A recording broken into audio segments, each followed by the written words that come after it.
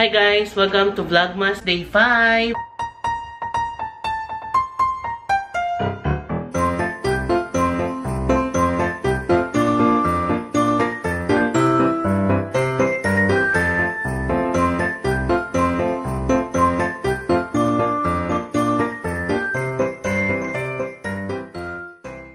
Oh, wow, ganito pala siya. Ang linaw, oh.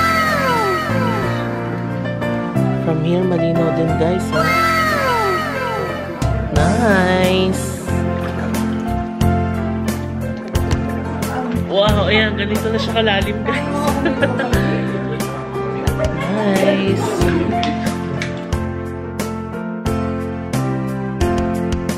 Alright, so here's our food. We have rice, guso, lechon, steamed scallops, squid ink, clam soup, and our spicy crabs. Let's eat, guys. Laki. Sarap naman ito. Ang laki ng scallops, guys. Ito, laki. Laki, guys. Oh, grabe. Hmm? Let's eat this.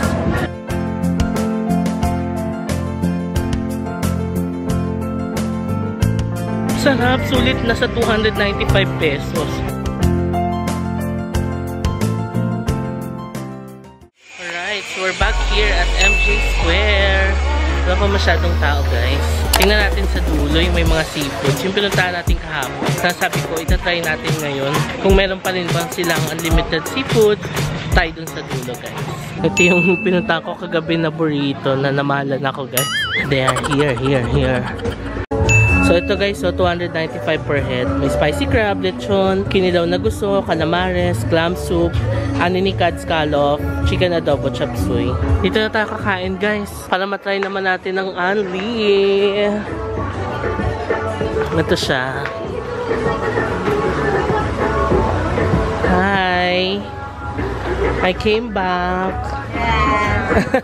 They have kinilaw na gusto. Squid adobo with ink. There. Native chicken. Native chicken. Clam soup. And lechon. Wow. Tapos, steamed scallops and spicy crabs. Alright, so here's our food. We have rice, guso, lechon, steamed scallops, squid ink, clam soup, and our spicy crabs. Let's eat, guys! Try muna natin ang kanilang lechon. Mmm! Mmm! Sarap! Sarap talaga ng lechon Cebu, guys! Ang sarap! Try natin yung clam soup. Yung clam soup, parang lasang tahong. Kasi gulam kami nito sa bahay. Yung sinabawan tahong, ganun yung lasa niya. By the way, payment first pala dito, guys. So, before kayo kumuha ng food, kailangan magbayad muna. Let's try the squid. Kahapon calamares to eh. Ngayong adobong squid. Hindi ko alam unahin ko, sobrang dami. Gusto. Wow. Masarap ng crab, guys. Spicy siya, pero hindi siya ganun kaanghang. Let's try the clams. Ang laki ng clams.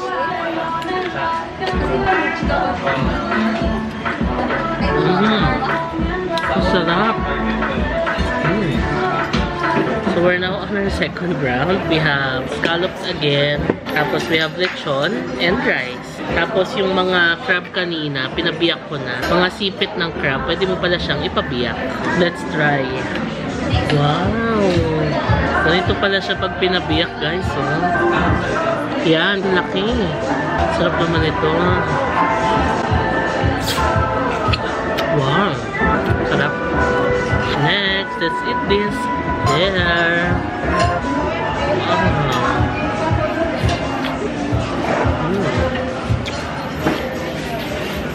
Wow. Laki ng scallops, guys. Oh.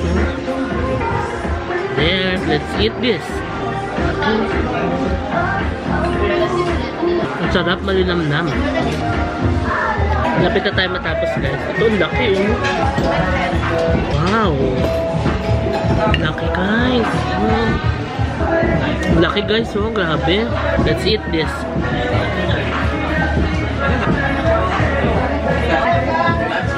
Sarap. Pa, yung kabila. Yun oh. Ako lang. Guys, si Meredith, nakita ko. Hi, girl. She's my office mate sa work ko ngayon, guys. Sige po. Hi, girl. Oh my God, I'm happy to see you. Magay ka sa vlog.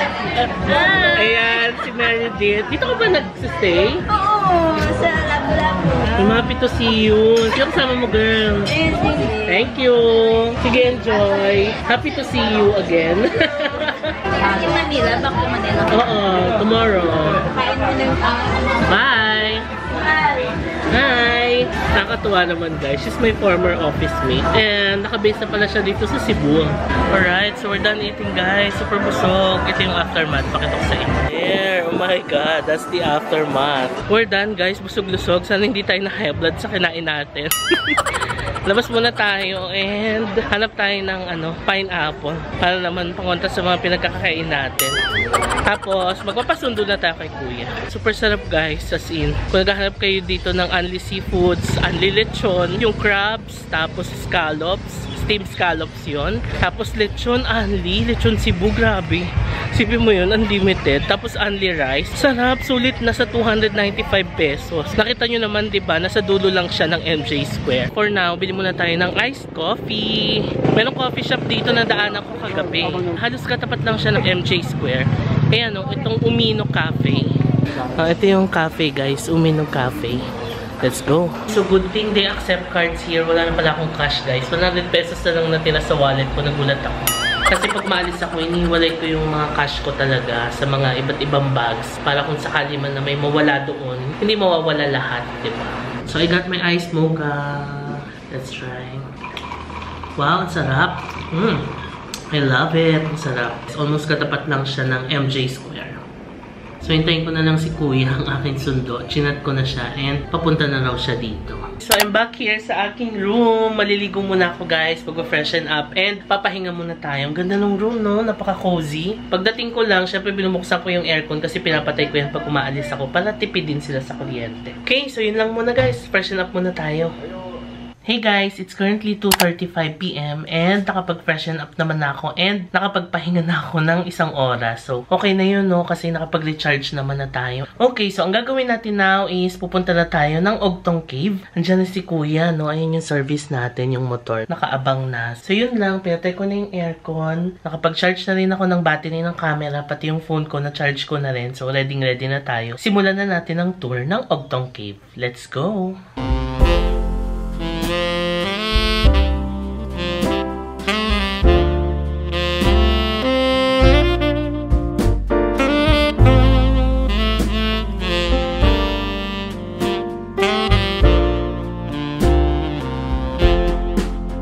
guys, we are now here at Ogtong Cave. Ang bilis no? Parang 7 minutes lang yata ang travel time from our apartment. So magbabayad daw tayo dito ng entrance fee and registration. Let's go! 200 pesos. May access na lang sa cave, sa beach, and sa pool. So yung cave, ang protocol lang nila is 10 to 15 persons maximum and then 15 minutes lang per person. Tapos ayan, pwede kang pumunta sa beach and sa pool. Ang ganda dito guys, oh very green. So, yung cave daw is katabi lang ng pool. Sige, diretso tayo doon. Ay, tanaw na pala dito yung pool tsaka yung dagat. Maganda tong resort na to ha. Parang good siya for family. Alright, so we're now here at Ogtong Cave. Ito pala siya. Papasok doon. Ito lang yung pool. Tapos, ito lang yung cave. Galing, no? Mga umaakyat to. Galing sila sa cave. So, mag-wait lang tayo guys kasi meron pa yata mga tao sa baba. We are advised to line up kasi may limited number of packs lang ang pwede sa baba and hindi yata pwedeng sabay-sabay. Alright, so pwede na tayong bumaba. Let's go! Itong cave.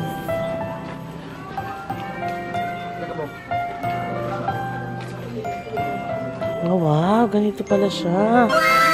Ang linaw, oh. Nice. From here, malinaw din guys, oh. Nice. Slippery when wet. We're now here at Ogtong Cave. There, super guys. Ba tayo?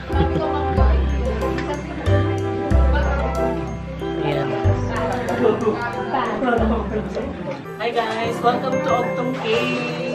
Super linaw ng tubig dito. Tsaka malamig. Oh. Let's go! Grabe, ang linaw dito guys. Oh. Just have to be careful. Ang linaw. Grabe. And yan, ganyan lang siya. Ayan oh. Nice!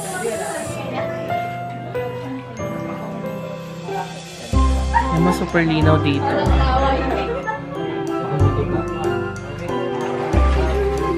Ayan, ang linaw. Wow. Ay, lalim na pala dito. Ay, ang linaw guys, oh. Let's not go further. Baka malubog na ako at malalim na. wow, ayan, ganito na siya kalalim guys. Konting lubog pa eh. Sasama na yung camera ko sa paglubog. Ayan. Nice.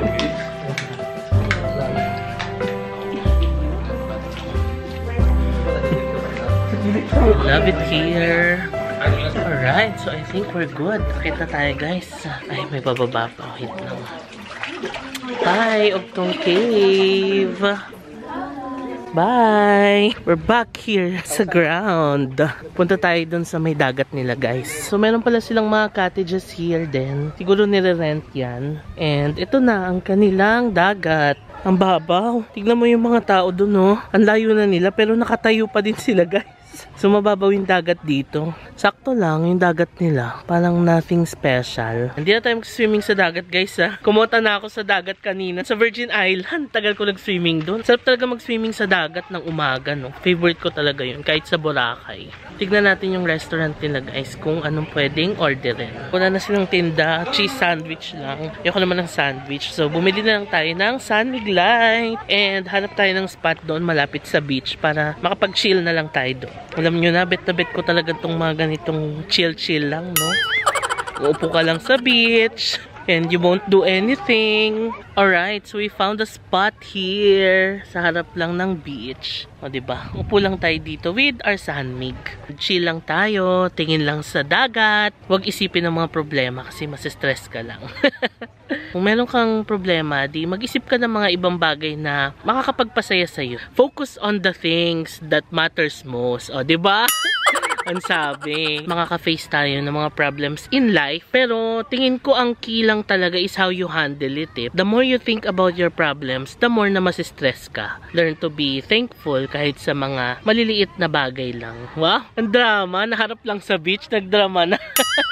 By the way, hindi ko pa na na-share kanina yung price na binayaran ko sa tour namin, no? Ang binayaran ko is 500 pesos. All in all na yun. Ay, actually, meron pa, nagbayad kasi kami ng 200 pesos entrance fee sa Virgin Island. And nagbayad ako ng 100 pesos na rental para sa snorkeling gear. And ang binayad ko kay kuya for the tour is 500 pesos. Pwede na, no? Kasi kung ako lang mag-isa nun, kung tinuloy ko yung tour ng solo lang, ang renta pa lang ng boat, 1,000 na eh. And ang mararating lang nun is yung Virgin Island. E pumunta pa kami ng Hilantagaan and Wangwang Island. E kapag pumunta ka ng ibang islands pa, another 300 pesos na naman yon nababayaran. ba diba? E kung susumahin mo yun, ilang islands ang pinuntahan namin, di 1,600 na yun plus yung entrance fee pa. Kaya nakatipid talaga ako guys. Again, nagpapasalamat ako dun sa Soldia Apartel kasi talagang alagang-alaga nila ako guys. And sobrang hospitable talaga nila. Kagaya kanina umaga, hinatid ako ni kuya dun sa tourism office, 'di ba? Tapos siya rin yung nakipag-usap sa iba. Kasi ganito lang ako, guys. Akala nyo extrovert ako, madali akong makakilala ng ibang tao, pero sa totoong buhay, guys, nahihiya talaga akong mag-approach sa mga tao sa unang beses lang naman. So si Kuya ang nag-approach kanina. Siya pa nga naghanap talaga, nagtanong siya na, "Uy, ilan kayo? Apat ba kayo? Pwede bang mag-join tong kasama ko sa inyo?" Ganon. I'm super thankful na nandyan si Kuya kasi kung wala, for sure may hiya akong magtanong-tanong doon sa tourism tourism office.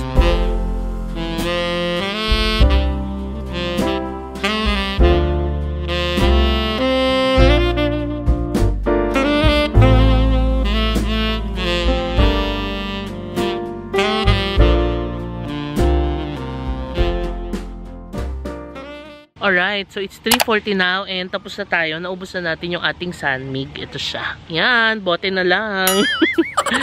So, tinext ko na si kuya. Nagpapasundo na ako kasi malapit nga lang yung apartment namin dito. So, ang gagawin natin, tatanong ko kay kuya kung may mabibilan dito ng danggit na mura, no? Para pagdating natin ng Cebu, hindi na tayo pumunta ng Tabuan pa. Kasi baka mamaya, abutin tayo ng traffic-traffic doon at maiwan tayo ng eroplano. Ang flight ko kasi tomorrow is 12.30 ng tanghali. Eh, ang biyahe pa lang from Bantayan Island going to Cebu City, guys. From here, papuntang Hagnaya Port, 1 hour. Pag nakasakay tayo doon, another 4 hours na naman going to Cebu City. Magko-commute pa ako from Cebu City to airport. Eh, 12.30 ang flight ko. So, I have to be at Mactan Cebu International Airport ng at least 10.30 kasi 2 hours before the flight, ba? Diba? Sipin nyo, kung 10.30, kailangan na ako sa Cebu Airport. Anong oras ako aalis dito? Madaling araw, guys do the math. So, alam nyo na, kaya mag-chill na lang talaga ako ngayon at hindi ako pwedeng magpagod-pagod talaga kasi madaling araw ko aalis mamayang madaling araw. Ha? Ang gulo? Madaling araw ako aalis tomorrow. So, maghanap tayo ng danggit kung saan may mura. Once makabili tayo, babalik na tayo ng apartel and bagi-edit na ako ng vlog. And then later, punta ulit tayo ng MJ Square to have dinner. Yun lang. See you later. So, I'm back here sa aking apartel. It's currently 3.55. O, diba? Bago mag 4 o'clock, nakabalik na ako. So, ang gagawin ko, mag-half body na ako. Hindi na ako magabasa ng hair kasi hindi na madabasa yung hair ko dun sa Ugtong Cave. Yung katawan ko lang, so yun na lang ang isa-shower ko. And then, mag-edit tayo ng vlog. Habol tayo sa editing, guys. Hi, guys! So, it's 5pm now and lalabas tayo ulit. Dadalhin daw ako ni Kuya sa Old Church ng Bantayan Island. And right after that, diretso na tayo sa MJ Square for dinner. And saka tayo babalik balik dito sa room para ituloy natin ang pag edit ng vlog. Let's go!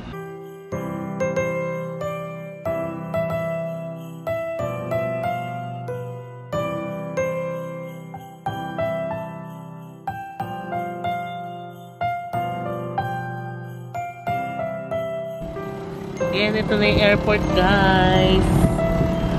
Pwede mga chartered planes daw dito. Charter lang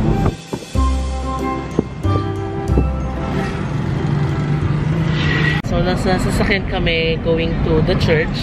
And meron kami nadaanan dito sa Bantayan, guys. Yung Bantayan Municipality mismo. Amoy ipot ng manok. Ay sabi nila kuya and ate, ito ang egg basket daw ng Cebu. So, dito kumukuha ng supply ng egg and chicken before. Pero sa ngayon daw kasi marami ng supply ng chicken sa iba't ibang lugar. Pero before, dito daw talaga ang main supply ng Cebu. So, yun lang. Fun fact lang, guys. Ayan, si Ate Marilu, yung nasa likod, and si Kuya Tata. Ayan. Hello!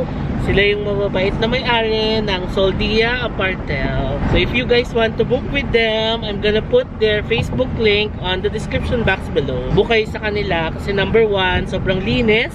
Number two, mura din, very affordable. Alam niyo naman tayo, mga budgetarian tayo guys. And number three, sobrang hospitable nila. As in, wala kang masabi. Talagang aalagaan nila yung mga guest nila. So, highly recommended guys. Hi guys, so dinap na ako nila kuya dito sa St. Peter and Paul Parish Church dito sa Bantayan Island and Bantayan Municipality kasi tatlo pala yung municipality dito. Santa Fe, Bantayan and Madrilejo. So nandito tayo sa Bantayan Municipality. Yung pinagsistayan natin, yung tourist area, Santa Fe yun. So dinala nila ako dito sa Bantayan para ma-visit naman natin itong church na ito. Pasok muna tayo guys and tignan natin yung loob kasi ito daw ang oldest church dito sa Bantayan. Nakakahiya. Hindi ko napansin bukas pala yung pinto. Ang ingay ko dito sa labas. Sana hindi nila narinig sa loob yung pa-intro ko. So, ito siya guys, oh. Yung structure niya guys, it reminds me of the St. Paul's Cathedral in Macau. Yung sikat na tourist spots doon sa Macau na parang ruins. Ano bang tawag doon? Ruins of St. Paul. Tawid tayo sa kabila para makita nyo ng malinaw yung buong structure. One moment. Ayan, ito siya guys, oh. There. Ganda, no? Very old na. Tignan natin kung ilang years na siya. So, ito yung history nila guys. So, ang social na ngayon, i-scan mo na para malaman mo yung history, di ba? And apparently, this church was built by Father Doroteo Andrada del Rosario from 1839 to 1863. Oh my God, ang tagal na nitong church na to. Nice. Ito siya sa loob guys. So, ang ganda. Then,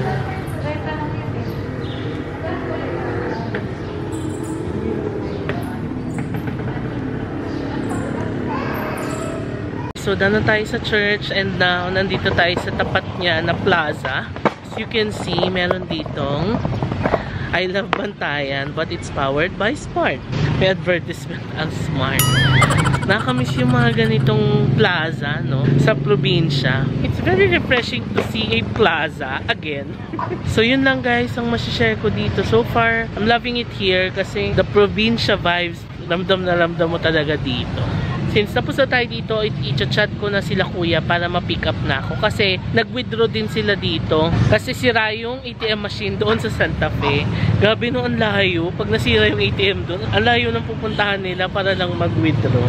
Hi guys, so we're back here at MJ Square sa Sticks Smokehouse. Dito tayo kumain yesterday. Mura dito guys, very affordable yung food and masarap din.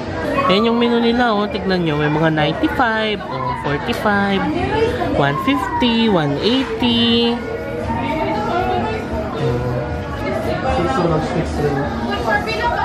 Yan. Yeah.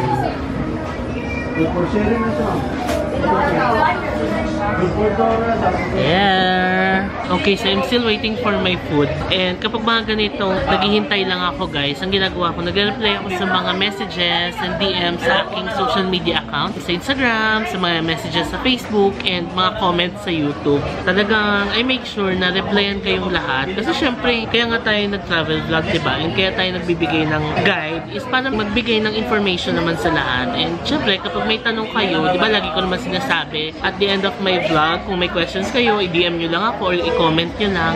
Mini-make sure ko talaga guys na sagutin lahat yan. Kasi syempre, para makatulong din sa inyo. So, konting story lang. Natatawa ako kasi minsan, nalilito na ako sa dami ng tanong. Kasi di ba sa dami ng destinations na pinuntahan natin, may mga nagtatanong about Coron, about Boracay, and Siargao. So, minsan, sa haba na ng conversation, hindi ko na nababalikan. So, hindi ko alam kung nagtanong ba siya ng Boracay or nagtanong siya ng Siargao. So, kapag may ganon, tapos after ilang days, nag-message ulit, na-assume ko tuloy na akala ko, ah, ito yung nag-chat sa akin na may tanong sa Siargao. Ah, ito yung nag-chat sa akin na may tanong sa Boracay. Kagaya ngayon guys, may nag-DM sa akin sa Instagram, si Jessica. Nagtanong siya, sabi niya, question ulit, hehe, meron ka bang alam na laundry shop dito? Balita ko kasi mahigpit airlines pagbalik sa Manila, hehe. So in-assume ko, ang tinatanong niya is about Siargao. so ang sabi ko, ha, meron dyan malapit sa Apsaras, nandito sa vlog na to. Tapos sinare ko sa kanya yung link nung Siargao vlog ko na nag-walking tour ako sa General Luna. Sabi niya, ay sa Boracay po. Hehe. Sabi ko, ay sorry, nalito na ako. Dami kasi nagchat-chat. Sabi ko, sa hotel lang kasi ako nagpapalondon siya. Natatawa ako, nalilito na ako paminsan. Sa dami nung nagchat-chat talaga.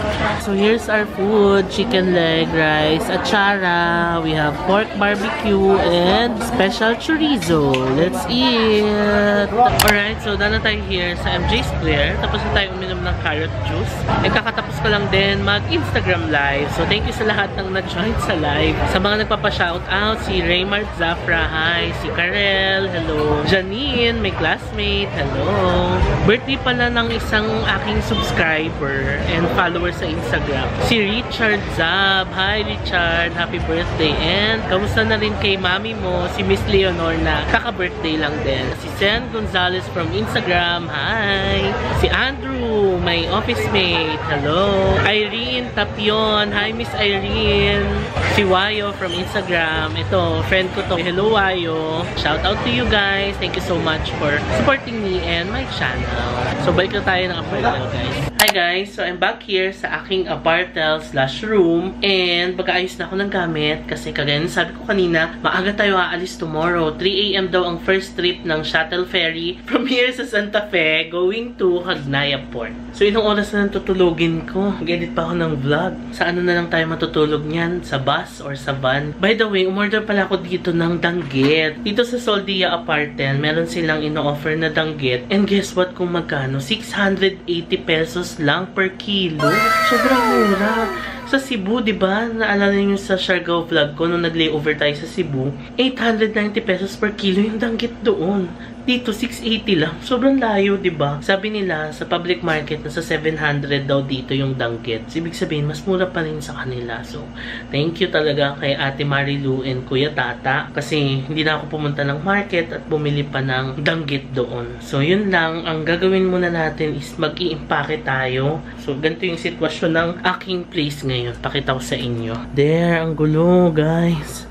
Ayusin ko lahat yan. Ito yung danggit na nabili ko. Isang kilo yan. 680. Of course, I bought Magnum. Yan, dessert natin. So, ayusin muna natin to guys. Hi guys, it's 8.15 now and kakatapos ko lang mag-impake. Ang bilis lang, no? Medyo naayos ko na. Medyo lang kasi may mga ilalagay pa ako. Laptop ko, mga toiletries ko. I'm planning na maligo na ngayon para tomorrow mag-aayos na lang ako. So ayun, I think I'm gonna be ending today's vlog kasi mag edit pa ako ng ilang oras lang. Siguro kahit mga 1 hour or 2 hours. Tapos tulog na tayo. And gigising tayo tomorrow for biyahe na pabalik ng Cebu and pabalik ng Manila. Nag-enjoy talaga ako ngayong araw na to guys. And sana guys, nag-enjoy kayo kayo. Let me know in the comment section guys kung meron kayong favorite sa vlog na to. Kung wala naman, okay lang din. Sana nag-enjoy pa rin kayo. Guys, I highly recommend this apartel to everyone na pupunta ng Bantayan Island. Kagaya nga nung sinabi ko kanina, super linis. Nakita nyo naman sa room tour ko. Pangalawa, yung aircon napakalamig, bagong-bago pa. Pangatlo, ang cozy ng kama, ang cozy ng pillow, ang bango ng bedsheet, bagong-bago. Ang ganda talaga. As in, wala akong masabi guys. Tapos sobrang hospitable pa ng mga may-ari, di ba, na alagaan ka talaga nila. Wala ka nang hanapin pa. So, kung gusto niyo mag-book dito guys sa Saltia Apartel, again, ilalagay ko yung kanilang Facebook link sa description box below. So, yun lang. I'm gonna be ending today's vlog. Kung meron man kayong mga tanong, comments, or suggestions regarding this vlog, you may put them on the comment section below or you may DM me on my social media account. It's JM Bankisho on Facebook and JM Sterny24 on Instagram. So, that is it guys for this vlog. If you like this video, please give it a big thumbs up and don't forget to subscribe to my channel para updated kayo sa lahat ng uploads natin. Maraming maraming salamat sa panonood and I'll see you on my next vlogmas. Bye!